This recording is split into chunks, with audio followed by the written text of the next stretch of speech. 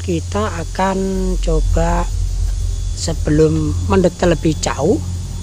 Ini karena berada di perbukitan saya dan ini memang eh, di Assalamualaikum warahmatullahi wabarakatuh. Pemirsa kesempatan hari ini kita masih berada di Kasumbon Malang.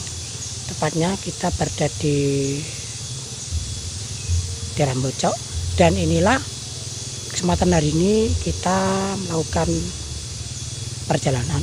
Kita berada di Candi Bocok tentunya seperti apakah eh, kondisi dan apa saja yang terkandung di dalam Candi Bocok tentunya simak terus bersama Jatimulyo New media pemersatu umat dan pelestari budaya. Hmm, coba sebelum mendetail lebih jauh ini karena berada di perbukitan saya dan ini memang eh, di, didampingi oleh beberapa pegunungan. Yang jelas kesempatan hari ini eh, jalan-jalan kita masih di Kabupaten Malang tepatnya di Malang Barat. Dan kita berada di eh, seputaran Pondok Agung Kasembon Malang dan kita berada di Bocok saya oke pemirsa. Inilah eh, wajah Candi Bocok dan kita coba untuk menuju ke sana saya di samping kanan kiri ini kita masih dimanjakan dengan berbagai macam panorama alam yang sangat e, memukau dan sangat memanjakan Anda kalau ingin berkunjung ke kawasan Candi Bocok. Oke pemirsa, di kesempatan hari ini kita masih di Jatimulyo New dan kita berada di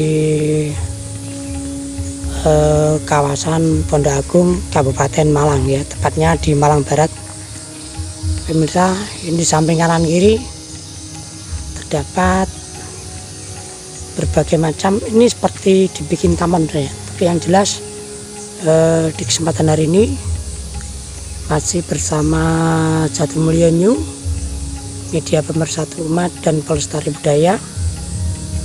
Oke misalnya inilah wajah dan tampaknya ini sangat bersih sekali. Sangat bersih sekali. Jadi kalau anda ingin e, berkunjung ke sini anda bisa ya. Dan kita akan coba menuju ke titik pusat ke Candi Bocok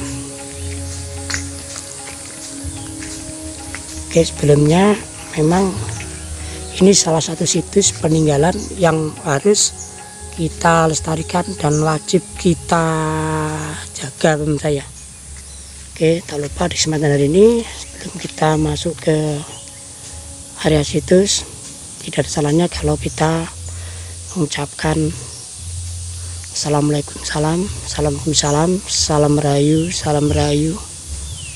Oke pemirsa kita coba meniti tangga yang ada di sini saya meniti tangga yang ada di areal Candi Bocok. Dan ini memang eh, sangat terawat sekali. Jadi eh, inilah situs Candi Bocok ya. Dan yang jelas ini berada di areal eh, Kasembun Malang ya tepatnya di Malang Barat. Dan ini memang kita sekali-sekali dimanjakan oleh panorama alam yang sangat memukau sekali. Jadi eh, seperti inilah eh, bentuk candi yang ada di eh, Pembocok ya. Oke pemirsa kesempatan hari ini kita sampaikan juga selamat datang. Dan ini memang eh, terdapat juga beberapa batuan andesit saya batuan yang eh, lama. Jadi memang ini sangat disakralkan untuk uh, Anda agar lebih berhati-hati. Memang sangat dijaga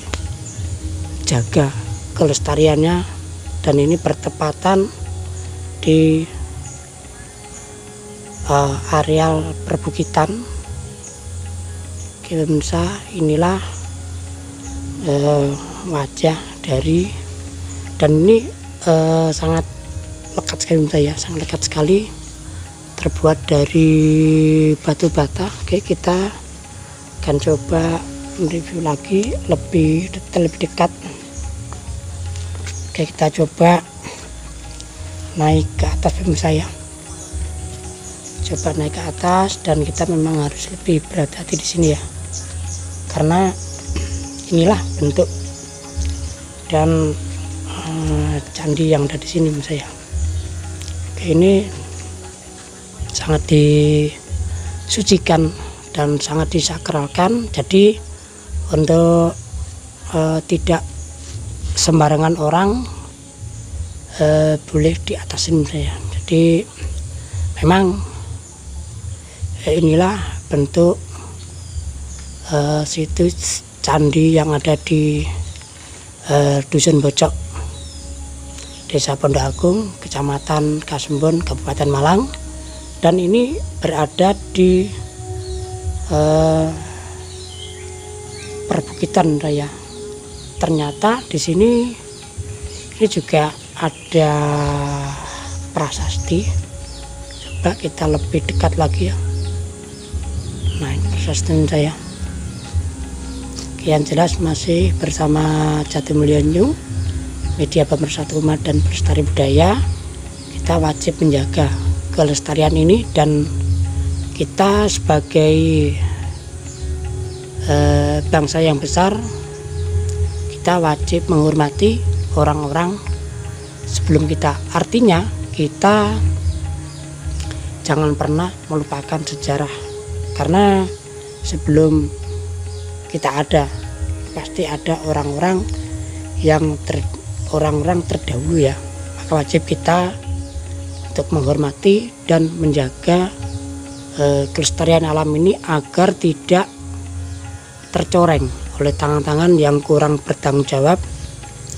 Pemirsa, kita coba lebih dekat lagi dan lebih mengenal lagi ya. Ini seperti bentuk stupa saya. Seperti bentuk stupa dan sini memang sangat terawat sekali eh, kebersihannya. Terawat sekali. Oke kita coba lagi untuk ke samping kanan saya ini yang samping kanan dan ini hampir mirip pun saya hampir mirip-mirip.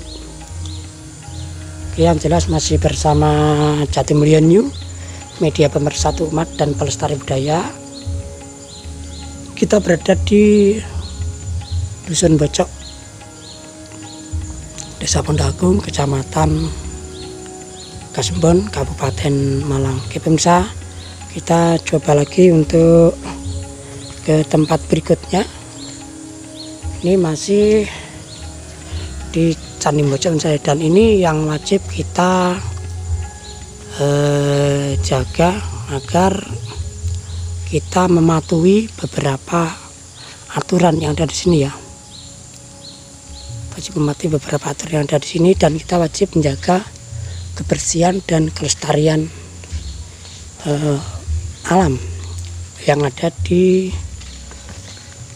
uh, kawasan Pondok Agung Kabupaten Malang. Pemirsa ini uh, memang terdapat dua candi menurut saya. Terdapat dua candi.